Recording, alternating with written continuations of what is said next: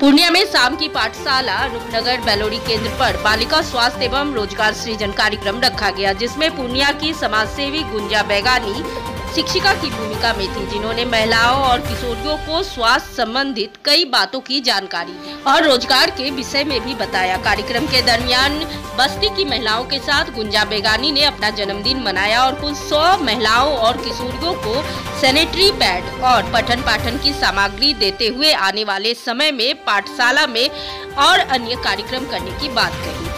साथ ही वृक्षारोपण को बढ़ावा देने की बात करते हुए गुंजा बैगानी ने केंद्र पर पौधारोपण भी किया।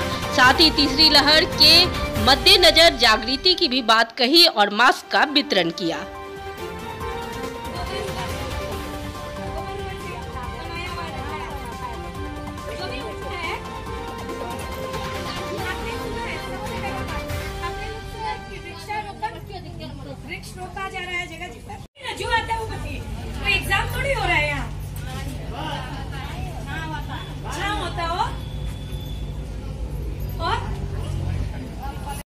जन्म दिवस मनाने आई हूँ।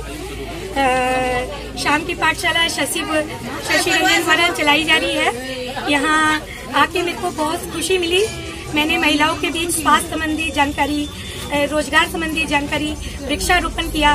माननीय मोदी जी द्वारा चलाए गए बहुत सारे रोज़गार के बारे में शेयर किया लोगों की समस्याएँ सुनी मुझे काफ़ी अच्छा लगा यहाँ आके और काफ़ी लोगों का मुझे आशीर्वाद मिला। सौभाग्य ये मेरा सौभाग्य की बात है कि आज मुझे इन लोगों से बहुत सारा प्यार मिला। महिलाओं के बीच कुछ आप बांटे भी हैं। हाँ महिलाओं के बीच मैंने sanitary napkin copy pen slate toffee chalk ये सब चीज़ें केक इन लोग ने सब मिलने मिलके बस्ती सारी बस्ती मिलने मिलके मेरे लिए केक का आयोजन किया। इसके लिए मैं बहुत बहुत आप लोग सबका धन्यवाद करती हूँ। तो मुझे बहुत ही खुशी हो रही है आज। मैं जिसका व्यक्त नहीं कर पा रही हूँ लोगों को क्या संदेश देना चाहेंगे आज जन्मदिन के मौके पे आप?